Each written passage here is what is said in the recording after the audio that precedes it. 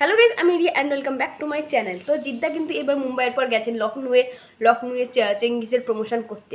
তো এবং লখন কালকে কিন্তু জিদ্দা তার ফেসবুক পেজ থেকে একটা লাইভে এসেছিলেন। তিনি লখনউয়ে গেছেন।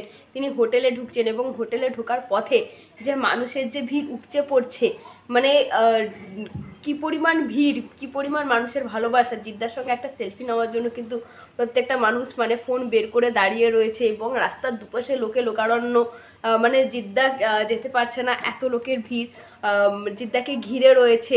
এটা মানে একটা কিন্তু মানে বাঙালি হিসাবে মানে আমাদের কাছে কিন্তু একটা প্রাউডের ব্যাপার। এবং জিদ্দার কাছেও খুব কি খুব একটা ভালো লাগার ব্যাপার, গর্বের ব্যাপার যে লখনউর মতো জায়গায় এরকম মানুষের ভিড় উপচে উঠছে জিদ্দাকে দেখার জন্য। এটা যদি মানে এখন যদি এটা আমাদের পশ্চিমবঙ্গ হতো কলকাতার কোথাও হতো তো সেটা আমার একটা ভাবার বিষয় ছিল যে হ্যাঁ হতেই পারে। এখানে জিদ্দা প্রচুর ফেমাস একজন মানুষ কিন্তু আহ, লখনউয়ের মতো জায়গায় সেখানে জিদ্দার এত পরিচিতি এত ভালোবাসা এত মানুষের ভিড় এসব কিন্তু দেখে নিজেরও প্রচণ্ড ভালোবাসছে।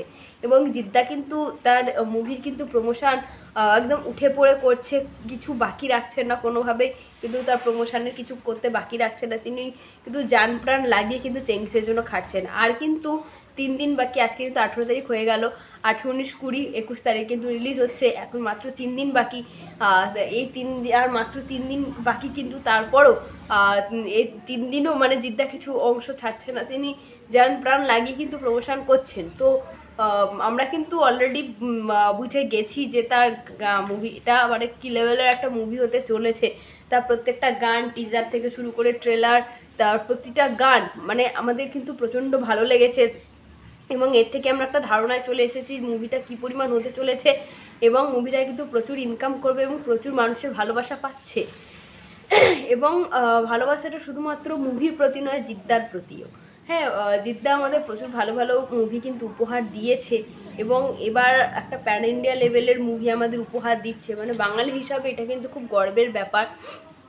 এবং জিদ্দা কিন্তু মানে প্রচুর মানে যান প্রাণ লাগিয়ে কিন্তু খাটছে। তো মুভি তো খুব ভালো হবেই। তো তোমরা যদি কেউ যে প্রমোশনের যে লাইফটা মানে লখনউয়ে যে গেছে, যার লাইফটা সেটা যদি তোমরা দেখো, তাহলে দেখো, দেখে থাকো তাহলেই কিন্তু তোমরা বুঝতে পারবে যে মানে সেখানে জিদ্দা কীরকম মানুষের ভালোবাসা পাচ্ছে। তো এখন লখনউয়ে গিয়ে জিদ্দা প্রমোশন করছে। তো দেখা যাক এরপর কি হয়। তো, আজকের ভিডিওটা এতটা অবধি। তো, দেখা হচ্ছে পরের ভিডিওটা টাটা।